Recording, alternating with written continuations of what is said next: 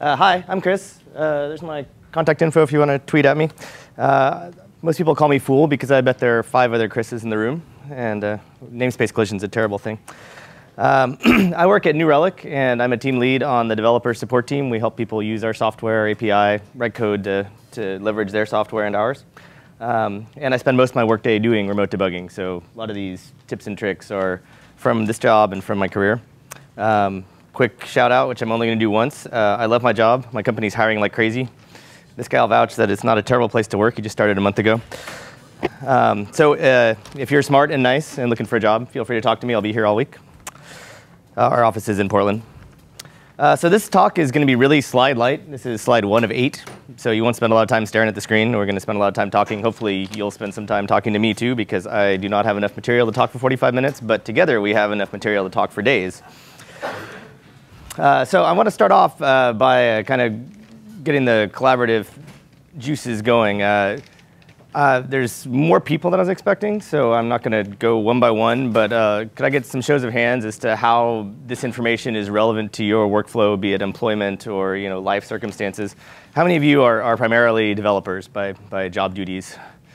Um, end user support, any other professions like medical profession, uh, plumber. I mean, there's a lot of other jobs out there that require kind of uh, debugging, troubleshooting, although they may not call it unless, that unless you're an exterminator. But um, cool. Well, um, as someone who works in tech support, that's that's my motivation. But uh, a lot of this talk is about how to kind of address your audience and your point of view, and kind of define your criteria for success, in addition to how to actually do the thing. Um, so, uh, no matter what your role is, I assume you're here because you have to solve problems sometimes, and uh, hopefully we can expand your insight on doing so. Um, since I do primarily technical support, I have kind of a different spin on it than you do, maybe. Um, and since I do it for developers, I have a different spin on it than someone who's at the other end of the phone on Comcast. It's just like, yes, we know it's not working. Yes, we know it's not working. Um, so um, now we have to talk about goals. Uh, and debugging is, is the thing, but what, what is it we're trying to, uh, what is it we're trying to solve?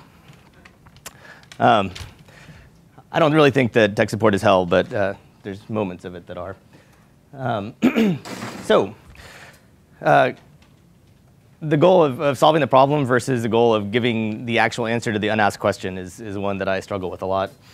Um, uh, I imagine a doctor has an even different perspective on it. Uh, you know, when someone comes in and says, oh, my arm hurts, and he's like, hmm, well, that may be the case, but you seem to be overweight smokers. Maybe you're having a heart attack and your arm's actually just a symptom and not the cause. So how you, uh, how you get there from here is, is one of the things we'll talk about.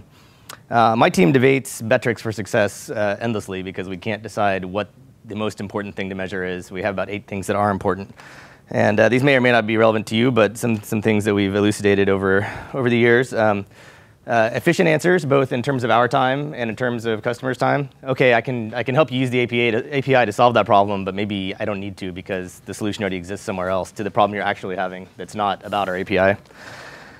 Um, we want to, you know, demonstrate concern and interest. Oh, um, you know, I don't understand what you're trying to do. I want to know. I want to build this relationship with you that makes you think, oh, there's a person here who wants to talk to me and isn't just, you know, like, oh, how many of these can I get through in a minute?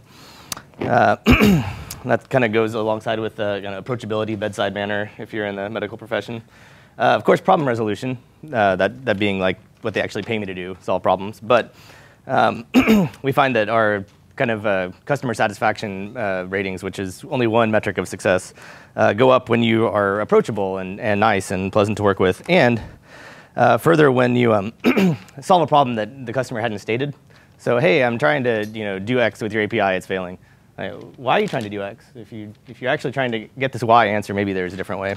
And hey, maybe I can save you some work and save us some back and forth as you hit all the edge cases that our API wasn't meant to deal with to get down this path that you didn't need to use the API to, to get to anyway. Um, so uh, goals and sub-goals, deciding that goal uh, beforehand should illuminate both the style and the strategy for debugging and uh, for investigation that leads you up to the debugging.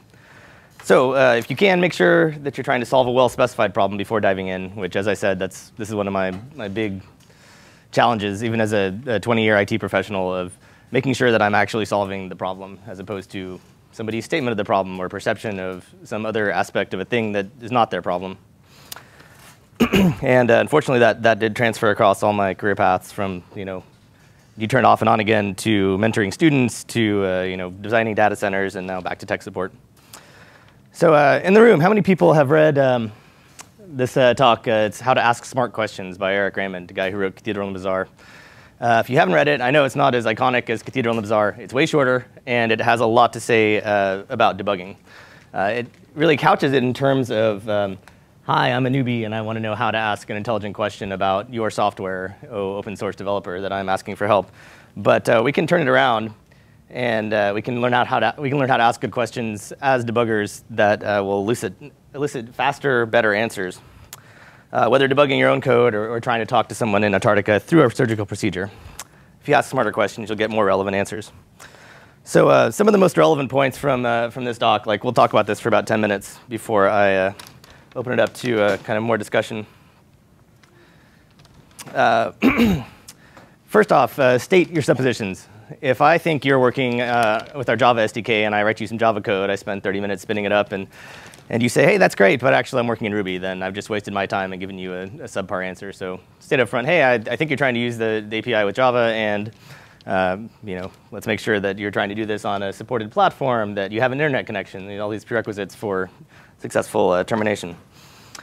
Uh, maybe a more uh, pathological example, like your mom calls and says, hey, my email's not working. Like, okay, mom, so when was the last time this was working? yesterday, you're still using Windows 95 on that broken-ass Packard Bell, and your computer's still plugged in, and your cable modem's still blinking, right? And we, we're, we're, all, we're all there.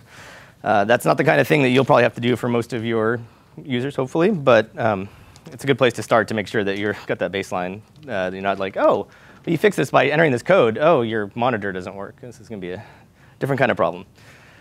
Uh, this feeds into knowing your audience. Um, so my mom, I, I, love her dearly. She's very smart, uh, but I do not ask her about kernels. Um, I ask her about what her screen looks like if she calls me with computer problems. I don't say, what does it say? I say, what does it look like?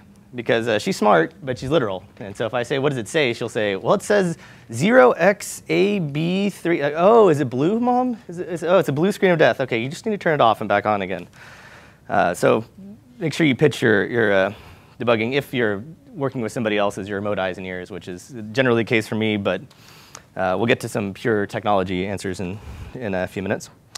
Uh, so now that you know your audience, play to them. So uh, my mom probably wants her handheld and say, oh, no, no, that crashes like that happen all the time. Don't worry about it. It's not you. It's the computer.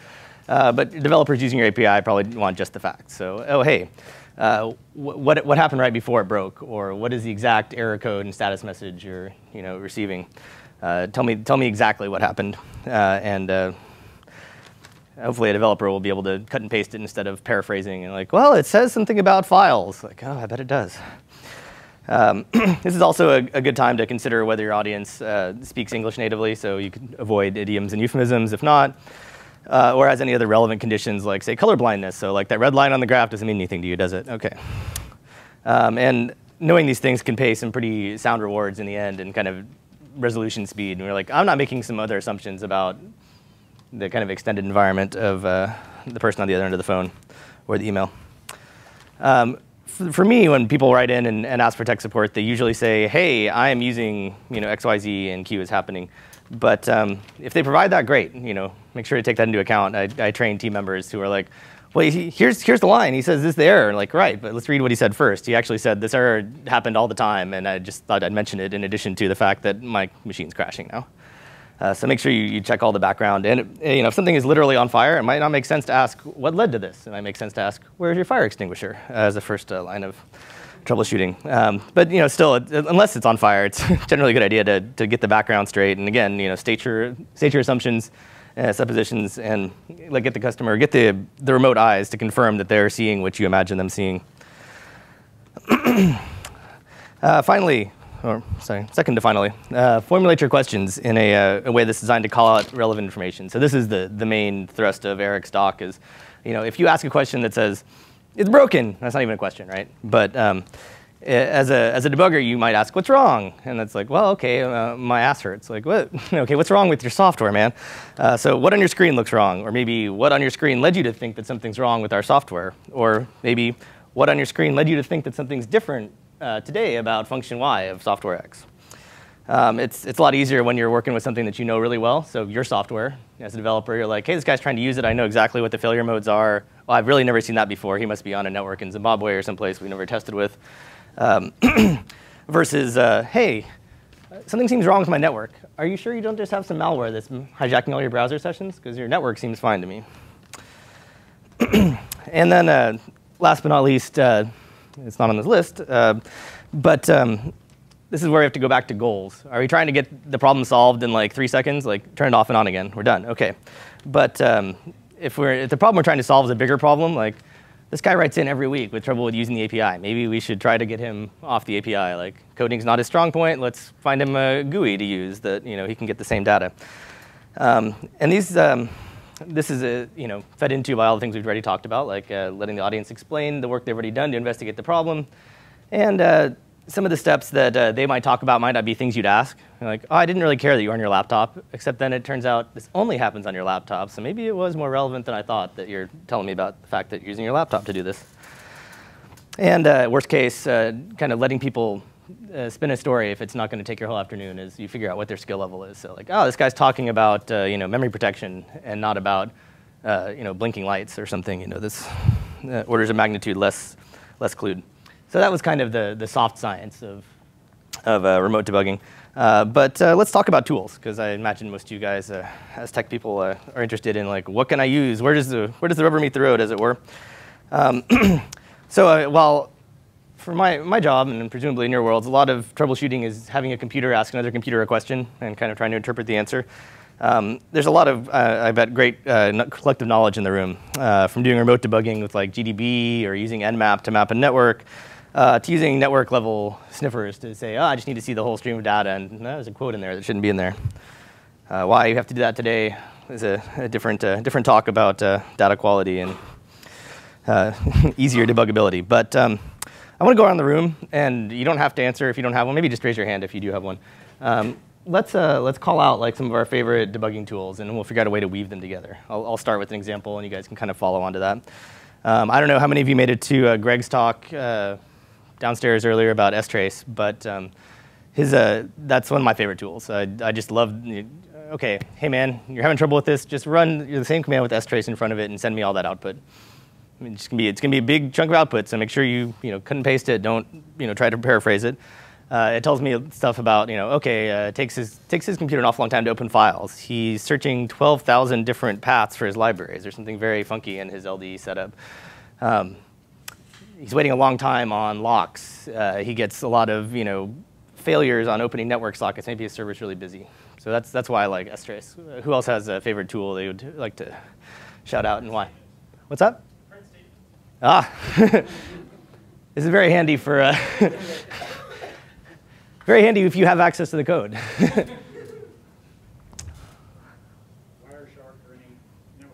Yeah, yeah. I mean, the, the network data is, is huge these days, right? I mean, most of our data is, is not on the standalone server unless you work for the NSA. And my friend tells me that even at the NSA, they have a network. You just, they just deny it, except uh, in press releases, apparently.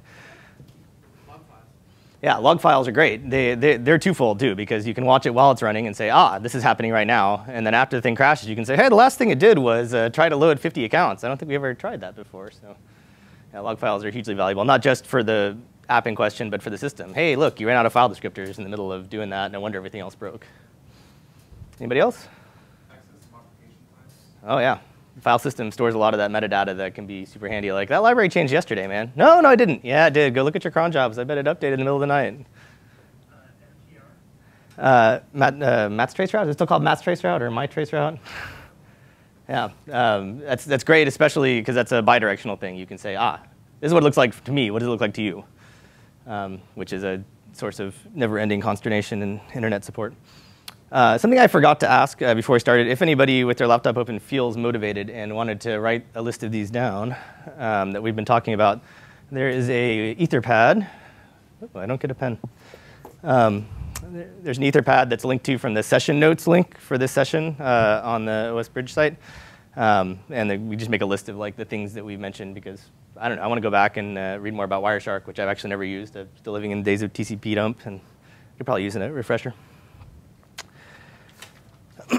um, let me uh, show you a real quick demo. I, I, this is not a, supposed to be a dog and pony show, but uh, my favorite tool uh, is actually the tool that my company writes. And uh, the reason it's my favorite is because it, it kind of synthesizes a lot of the best practices that, um, that a lot of tools have. So this is a real app that's running on our servers uh, in a data center in Chicago. Uh, it serves about 560,000 uh, requests per minute. What's that? Oh, shoot. How do I get that over there? Mm, there we go. Hmm. Maybe I can mirror display somehow. Maybe I'll just turn around and face the other way. Ah! Hadn't occurred to me you weren't going to all be sitting behind me staring over my shoulder at this laptop.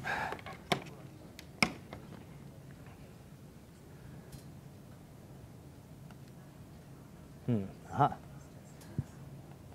All right, so this is a high-level view of our, um, not that high level, but a high-level view of our, uh, of our app that um, is serving something like 500,000 requests per minute. Um, and uh, this is the real data from yesterday.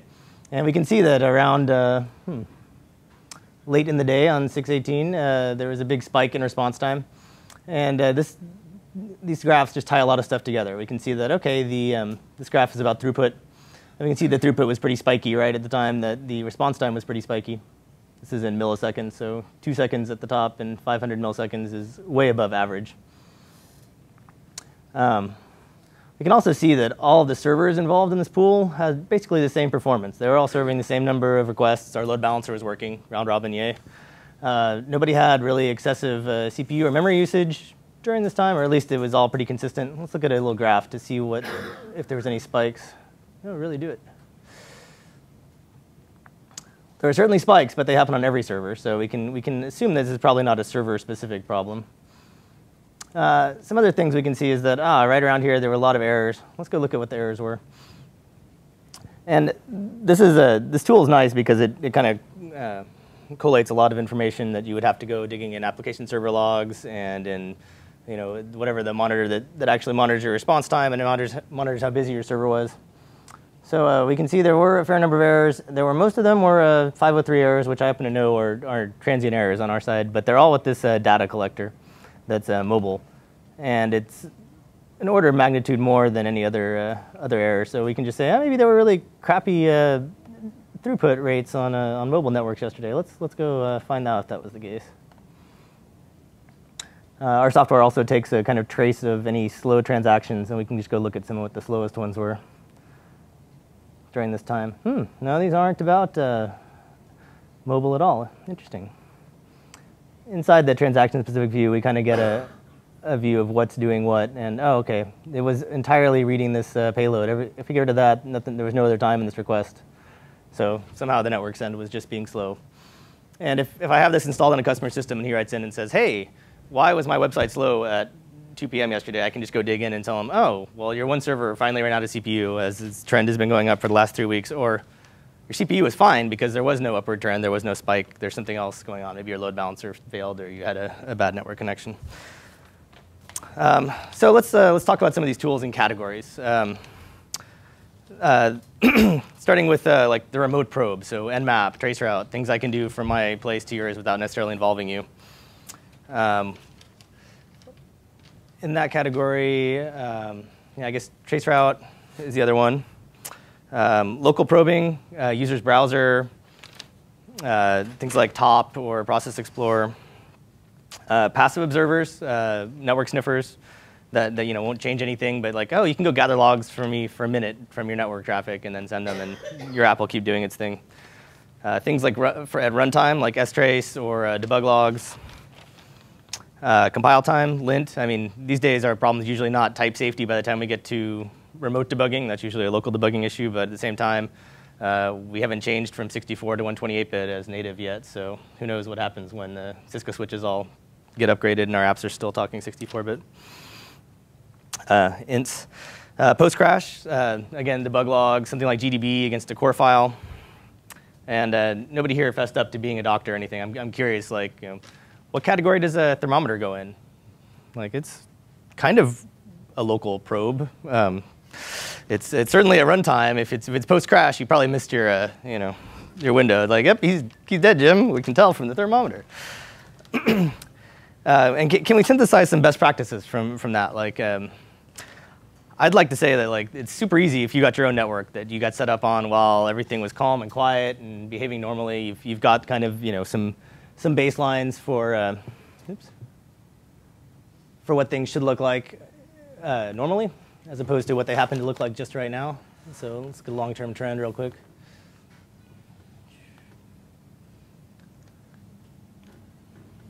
And we can see that generally, like the response time is way under 200 milliseconds, and uh, perhaps some of our uh, load problems are related to this whole uh, climb from uh, this whole double in uh, traffic in the last month. I, I don't know. Um, so, but if you, this is only useful if you really have your own shop that's already set up. But if you're like me, you get called in when something's on fire, and people have installed things after the fact, if at all. Like, oh, hey, so it's broken now. Well, what did fixed look like? What you know? if you don't have uh, you know some Zabbix or, or, cacti graphs to go back and refer to and say, oh yeah, this whole month the you know connection numbers have been climbing and uh, response time and swap usage has been growing and oh my gosh, um, what can you even do?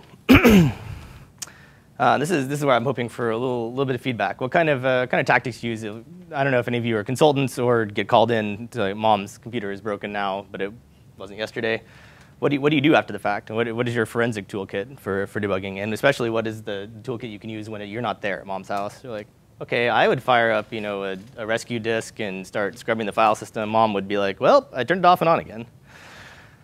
Um, any ideas, thoughts? I didn't really lead you into that one very well. Sorry. Um, well, maybe we'll talk about that again at the end. Um, I think the most fun part of this talk is not all the stuff that I've just sat up here and, and preached at you, but uh, the kind of the stories that people come to while they're debugging things. And that's the hook that I think I used to get you in the door was like, oh, what happens if you're in Antarctica and you have to phone in a surgery? Uh, so that actually turned out to be an, an urban legend I'd, I'd misheard. Uh, what happens is you're a Russian doctor named uh, Leonid Rogozov in, uh, at, at, South Pole with 12 of your comrades in the 1950s, and you get appendicitis, and there's no other doctors there and you realize that you have to perform surgery on yourself. And so you uh, get your buddies to hand you scalpels and kind of slap you about the face when you pass out so you can keep cutting it out. And, and you survive, and you live for another 40 years somehow. Um, but there are some better stories of remote debugging. You know, okay, you have the whole world at your disposal because you're an astronaut and you're talking to ground control and something goes wrong. So uh, last year, the, uh, the Internet International Space Station had a, a failure with one of its power distribution units. It has four things called the main bus switching units. I don't know why they call all four of them the main bus switching units, but um, it is not a redundant thing. It is a, um, if we're at capacity, we're using all of them thing. So uh, one of them was still working, but was no longer reporting to the telemetry systems. It's like, oh yeah, I'm processing this much power, doing this with it. And uh, ground control is like, oh shit, if we don't fix it right now and something else breaks, then you guys are all going to come home real fast and not in the way that will leave you alive. So uh, they go out in a spacewalk and they're like, oh, well, this is just like doing you know, healthcare at 24,000 feet altitude. The answer is don't do it outside. Bring it into like a controlled environment. Um, and so they said, okay, well, we got an extra one of these things, so we'll just mount that and bring the other one back in and fix it. And they try to mount the new one, and it won't mount. And they're kind of staring at it through their big face shields with their big gloves, and they realize that there's filings trapped in the threads of the, the bolt receiver and they can't fit their fat fingers in there to get them out, and they might not want to anyway because you poke a tiny hole in your space glove and you not a very comfortable experience. So uh, they, they call ground control and they're like, hey, what do we do about this? You know, the canned air isn't working so well out here, and you know, don't really have a you know handy little brush with us. And ground control says, oh, we'll, we'll get back to you. Come inside and, and hang out for a minute. So uh, the uh, the astronauts go inside, and the ground control starts thinking like, what do we have in this? Uh, in the space station. Like they can't, we can't send them anything. They can't go to the hardware store. Like, okay, we got some wire and we got a toothbrush. So they strapped some wire and a toothbrush together and realized that the two brands of toothbrushes, the, the cheap Russian knockoff ones, were actually better than the American ones. So the you know, American guys went next door and knocked and said, hey, could we borrow it? Actually, could just have a toothbrush? We're going to ruin it. And uh, they uh, chopped off the handle and bound the wire to it. And then the uh, ground control guy said, well, what happens in, you know, the vacuum of space to this toothbrush? Is it, is it going to be, you know, just shatter because it's 300 degrees colder than it has been ever before. And it turned out no, it wouldn't. So they uh, took the toothbrush solution out there and scrubbed out the bolts and got the thing bolted back in. And uh, the astronauts probably would have come up with that solution eventually because they had a pretty limited you know, toolbox. I mean, see everything we have, it's right here. But um, I, I think that uh, examples like that are pretty illustrative of like how, how can you debug when you're not there successfully. Um, does anybody have any stories like that they'd like to share? I was really hoping to, yeah, bring it. Not so much a story as a technique. Uh, I, uh, for any systems, any of my client systems, I take photographs of them. I take photographs of front and back, and if I get a chance to look on the inside, I get a photograph from the inside. Uh, and that helps me so often. Uh, they'll call me and say, you know, hey, we're, we got a problem with, this machine. And it's like, I can be there in 45 minutes, but, and I'll pull up the photograph and say, there are three lights on the top left. I want to know what the second one's doing. you know, and, and I can look at the, I can blow up the icon and say, oh yeah, that's the network one, and you know, that kind of thing. So I find that to be a, a great asset. Another thing you might find out while you're in there is that they've never dusted, and maybe that's a, a good thing to do before they call you about it. It's on fire, literally. he, he and I have had some of the same clients. Chris, I'll add fire. I had a server catch on fire. How did you debug that? I mean, was it? I smell something. Perhaps it's a server on fire. when the sprinklers came on, you figured it out. It was already on. Ah. Somebody unplugged the SCSI in thing. And the SCSIs, if, if they don't have the proper end cap on them, Terminator. the Terminator, um, they overheat and catch on fire, especially when they're dusty. Well, let there be a lesson to you guys. Don't use hot plug SCSI anymore. At all. Uh, fair enough. There are the um, those switches that have um, serial port uh, interfaces. Yeah. We've had to use those in the past when you've got you can't get a network connection to the machine itself, but you know you can get the console. I've broken it in such a way that I can't access it except by plugging in. yeah. Um, there's the for home machines. Those I can't remember what they're called. There are a bunch of different like equivalent home VNC uh, style thing where these days you can literally just go to a web page and uh, whoever it is can immediately start sharing the screen on the machine. Yeah. And then you can take control.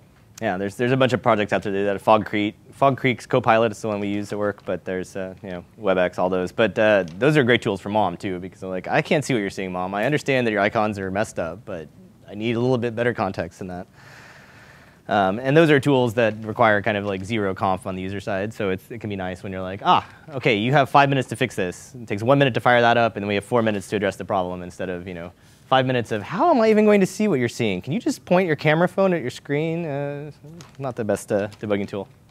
One of the things we found useful for, we have clients who have a half a dozen, a dozen workstations they're using for graphics and using for GIMP and processing images that they put on the website. And they used to be Windows and we've switched to for their Linux. And the Windows software they have to run, they run on a virtual machine. Well, all the virtual machines will run on any of their workstations. So if they have a problem, go to the other one and run the same one. If the problem wants to run away, it's with your box. have you tried turning it off and on again? yeah, making the boxes kind of be able to be plug and play, then we quickly tell which one it is, so at least then we can worry about that box later. Yeah, great. That virtual machine later, and it's like, okay, you're gonna go back to the original virtual machine, you're gonna make a new copy and send it over. Yeah, again, it's nice to have like copious resources that you've set up beforehand because it's a little hard to debug that in the heat of the moment of like, well, we're in the middle of getting this guy's X-rays and the thing broke and we only have the one X-ray machine.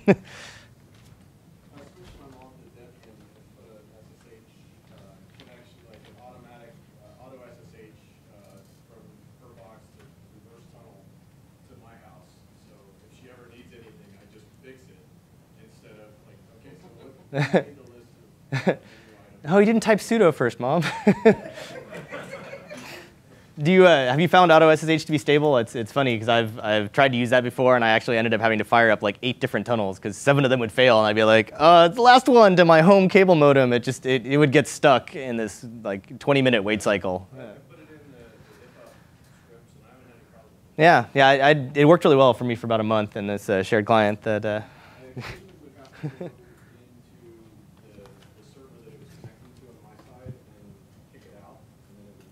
Yeah, I mean, that was the idea that it was supposed to work that way. I don't know how I managed to break this uh, fail-safe piece of software, but it was a good tool when it worked. An alternative that I found very reliable is uh, uh, OpenVPN. Uh, use it either for a Linux or Windows system. Just have it start whenever they, fire up the machine and it, connects into my server, so I log that around to them. Then I can use remote desktop or VNC or, whatever. And you can see that it rebooted three times yesterday. Hmm, who's been tripping around in the machine room? Um, so uh, I think I got about five minutes left. Is that true, Stephanie? I got 15 minutes left. I'm looking at the wrong number on there. Um, so uh, I guess uh, one uh, kind of useful to me uh, remote troubleshooting technique that I'm going to talk about is um, a, a lot of our customers have trouble getting their, their servers, which are in a data center somewhere, which don't normally talk to the internet, to, to talk to our servers, because we collate all the data on our end, um, the things that build the graphs that I was showing you earlier. And there's a surprising number of uh, really competent IT people who are like, well, my whole world lives in this data center, and I'm sure that the connectivity between my server and the database server is great, because I can see that queries are flowing, yay, life is good. But I can't talk to your servers. Like, oh, okay, well, there's a, there's a firewall or proxy in the way. Like, I don't, I don't think so. I've never needed to set anything for a firewall or proxy. Like, right, because you don't leave your network. And uh, it can be sometimes uh, maddening to get people to actually tell you the status of their settings if they can even find them. Uh, so uh, one of my favorite techniques is like, hey, just fire up a browser on that server and, and go to a status page on our site. And if you can get there, then, oh, you know that your firewall is letting you through, and oh, you know you don't need a proxy, or you know your system is at least configured to use a proxy by default, which we should pick up the same proxy settings. Or if we don't, then hey, look, there's a bug. Um, that's, that's a pretty frequent problem I have. Um, and uh, you know, it, it, also often bespeaks like, oh, your Internet Explorer is so old it does not in fact use the system key store. So it's working because you've imported the keys for our SSL certificate over there, but not uh, into your system. Um, okay, let's um, didn't really get enough out of you guys during the like uh, uh, brainstorm some uh, categories of things that work well together. So, say someone dropped you on the moon, uh, and you got the got the moon network and computers. You don't have any idea of the operating system or networking uh, protocol in use. Do you have any any thoughts as to how you'd go about like? Uh, someone tells you the moon network is broken. You're like, well, I know nothing about any of this. at least the computers seem to speak English. What what kind of like you know first, first shots in the dark would you take? Like, how do we demonstrate the problem? How do we, you know, further define the problem? Any thoughts? Brian? Ah, well, he told me it's broken. So you ask for more details about why? Yeah. Yeah, so that's, that's uh, you know, get, ask the smart questions, get, get the customer, get the audience to tell you why, you know, what is, what is the perception that it make, makes you think that something is wrong? And uh, this is one of my favorite interview questions too, is like, so something's wrong. What do you do? And they're like, well, what do you mean? Like, what do you do? Like, your mom calls you and just all she's doing is heavy breathing. Like, do you, do you just say, oh, probably nothing there and just hang up? You try to elucidate a response, right? So um, uh, some of my favorite answers have been people who totally go off on a tangent that's not about what's wrong, but that il illustrate a lot of domain expertise. Like, oh, uh, something's wrong. Well, uh, you know, is the building on fire? I'm gonna, I'm gonna check the fire alarms. Like, well, it's probably a good first like low-level response. You know, better than like, you know, is, uh, does your ear itch? You know, like as far as like, oh, this one's really important. This one could probably wait a while. Uh, another thing people often do is, is wander way off into the weeds. Like, oh, well, my question was actually going to be, do you know how to use Google to solve this problem? You know, eventually I want you to find to elucid, elucid, elicit for me an error code or an error message that uh, um, that I could then go Google and say, oh, well, somebody else has had this problem, and on Stack Overflow they said that X was the solution, or at least Y was a probable cause. Uh, but it's kind of neat to hear people explain to me how DNS works in the middle of like, well, if it's not working, then probably, uh, yeah, let's see. So the name server is not supporting recursion. I'm like, oh, well, you actually passed, although not in the traditional way because you demonstrated enough, you know, domain expertise and uh, technical competence to, you know, get me to get me to shut up. Um, So I'm going to open it to questions in about uh, two minutes, but uh, I'll try to kind of tie together some of the stuff I've, I've mentioned, and I hope it hasn't bored you because I'm kind of hammering on some of the same themes, but I think they're really important. That if you, um, you know, if you don't ask good questions, you don't figure out what is wrong in the world before you start trying to debug, you're not going to come to an answer that's useful to anybody. You might find that, oh yeah, you know, that guy never ran Windows Update, but that actually wasn't the source of his problem.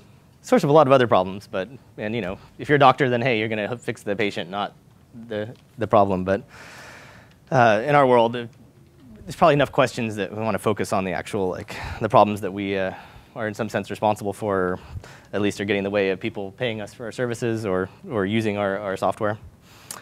Um, but uh, in that vein, a lot of those, uh, best bugging practices do require the foresight or the, the kind of the history that you don't necessarily have, but that you can install tools that will have. You know, oh, okay, how fast does your site usually load? Fast isn't an answer. You know, five seconds is an answer. And let's see, like, is it five seconds once when you tried it last week, or has it been five seconds for the last three months and it just changed today? Um, your cacti graphs have months of data, and you've learned how to deal with all those blips in service before a major outage occurs, instead of like in the, uh, you know, something's on fire, oh crap. Um, the, the real unfortunate thing is that a lot of times, by the time the network's broken, it's kind of hard to get new tools in there. So um, one of my, uh, if, back when I was a consultant, which thank goodness I'm not anymore, uh, one of my favorite things to do was just to bring a USB key with every single piece of uh, software, both in you know x86 binary and in source form. Like, okay, I, I'm going to want to build MTR and see what exactly what's going on, and I may not be able to get it at the customer site, so I better have it with me already. Oh, you know, I'm just going to go ahead and bring every single GCC package I've ever seen, just in case they have no compilers. Um, yeah, okay, that's, that's actually about uh, all I've got. Um, if you guys have any questions, I don't know, I didn't think I said anything groundbreaking, but uh, you know, hopefully informed your style a little bit. And uh, you know, next time you ask somebody a question, it'll be one question instead of 10, and you'll fix their problem in five minutes instead of an hour, because I don't necessarily rate quickness as my number one goal, but it sure is nice when it's that easy. Questions? So what do you do for repeat questions? uh, so Pete and Repeat sat in a boat. okay, guys, thanks for your attention, and uh, I'll be around all week.